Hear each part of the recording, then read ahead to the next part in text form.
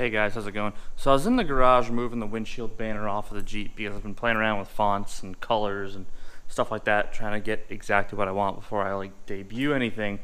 But I was over on this side and I noticed that uh, the winch came in. So I'm gonna do a little update video. So we're gonna open this thing up real fast. So stay tuned.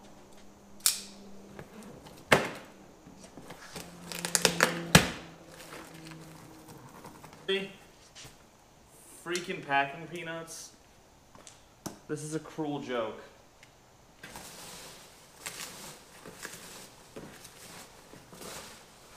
It's in the same.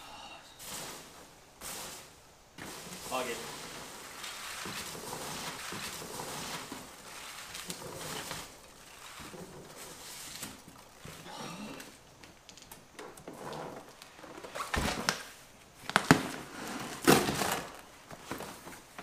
Little bitch.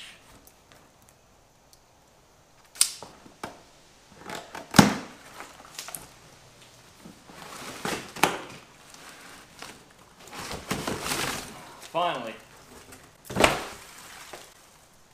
Didn't mean to do that.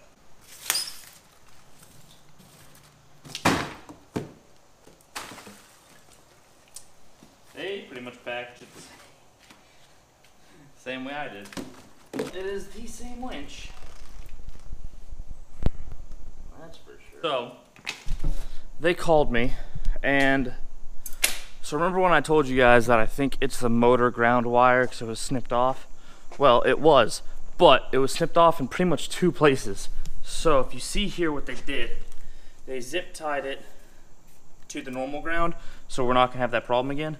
And they recrimped my crimp here, and this is where it was also loose up here in the battery pack area.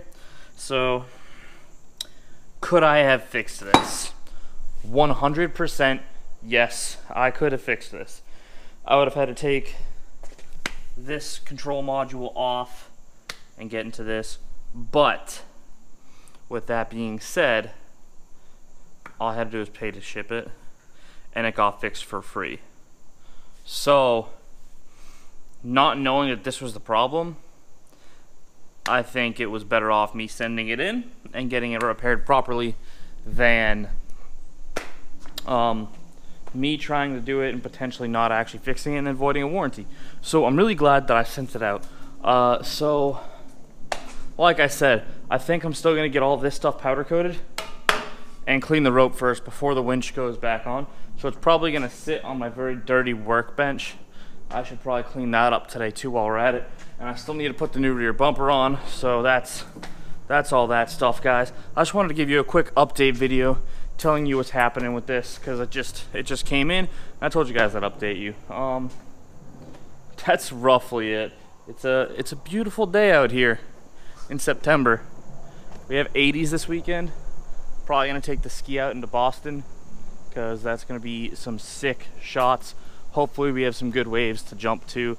That'll be a lot of fun. I love taking that thing out. That is one of my favorite toys right now. So I'm gonna clean up this mess and I don't know. I'll see you guys in the next one. Oh, by the way, um, channel name change is happening probably within the next two videos.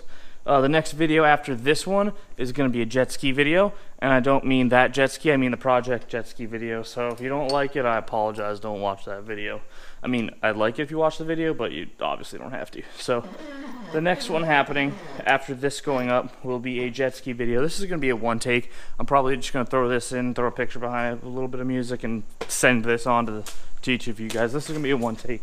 So uh, next video after this one will be a jet ski video, and after that, uh, I have a good video plan for you guys. it's also going to launch the new name for the channel. Hopefully there'll be a little surprise in there too. That might take a little longer. I'm working some things out. I'm uh, not hiring some people, but I'm talking to some freelance guys, trying to get some stuff done up because I have a lot of ideas right now, and I just don't have the skills necessary to do it. Also, I found a new project potentially online. Uh, I'm gonna go see that hopefully by the end of this week to early next week. I'm not sure if I'm gonna get it, but it's definitely a potential. So with that being said, guys, like, share, comment, subscribe, do all that typical YouTube jazz. I I appreciate the likes. The likes have gone up on these last couple of videos. Uh, I want to see those numbers continue to be bumped up. If this video gets, I don't know, what's a stupid number I'm not going to reach? 70 likes, because I think I've only gotten that once.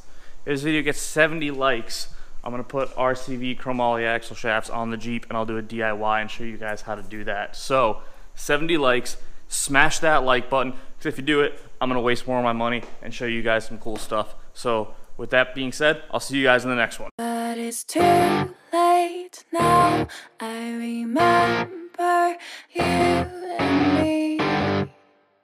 And how careless we Yeah. be. Day and all night. We'd stay up, it felt so right.